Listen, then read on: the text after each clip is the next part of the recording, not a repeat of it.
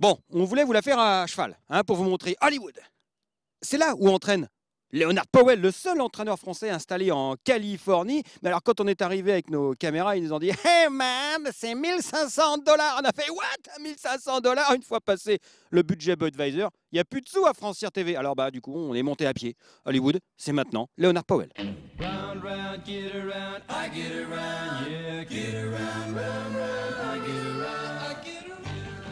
Hollywood Park, au sud de Los Angeles, a accueilli la toute première édition de la Breeders' Cup en 1984. Aujourd'hui condamné à la destruction, en 2014, 30 ans plus tard, ce pourtant très bel hippodrome historique de Californie abrite encore 1000 chevaux à l'entraînement, dont 20 sous l'égide d'un Français. Né d'une grande famille des courses, puisque fils de David, frère de Freddy et Richard, Leonard Powell s'est fait un prénom dans le Nouveau Monde. Bah, on, arrive, euh, on arrive assez tôt le matin, on commence tôt le matin ici, on commence vers 4h30, 5h moins le quart. On vérifie tous les chevaux, on prend les températures, euh, vérifier les jambes, euh, être sûr que tout le monde a bien mangé. Et puis après, on, enchaîne les lots. on a des, il y a trois catégories de personnel. Donc on a des cavaliers qui montent à cheval. On a les grooms, ce qu'on appelle les grooms, ce sont ceux qui s'occupent de sceller les chevaux, faire les box, mettre les bandages. Et après, on a ce qu'on a les hot walkers, qui euh, littéralement, littéralement, ça veut dire ceux qui marchent les chevaux chauds. Et eux, ils s'occupent juste de marcher les chevaux en main. Donc en général. Après le travail après et avant le travail aussi.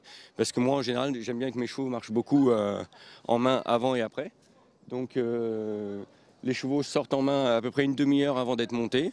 Nos lots durent à peu près 30 à 40 minutes.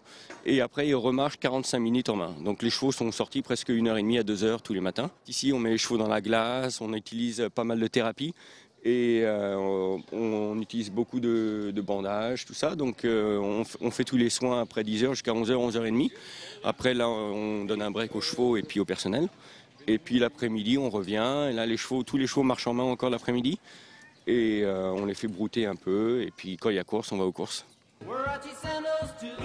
Hollywood Park, dont la souplesse de la piste est réputée et qui comporte en plus une petite piste supplémentaire d'entraînement, vit pourtant ses dernières heures. Et Léo Powell devra déménager à Santa Anita.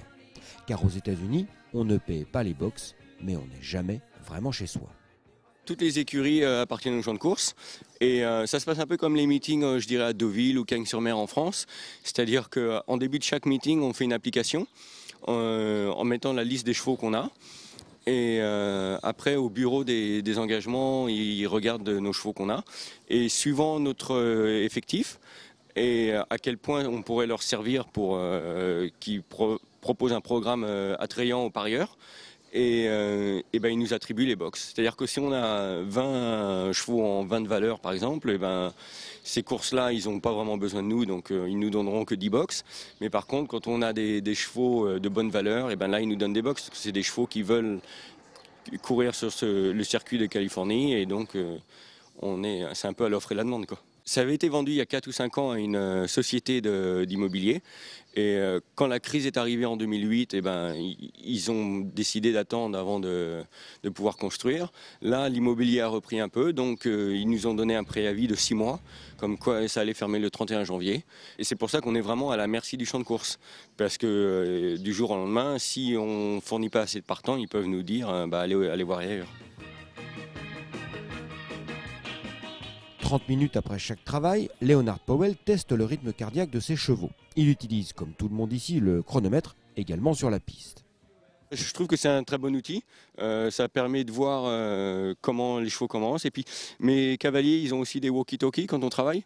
Donc, en général, ce que j'aime bien faire, c'est que au walkie-talkie, au talkie-walkie, je leur donne euh, la première fraction. Comme ça, ils savent s'ils vont à, la bonne vitesse, s'ils font avancer ou, reprendre un petit peu. Donc, pour mes cavaliers, ça leur donne une, bonne base et savoir comment le, reste du travail va se passer. Quoi.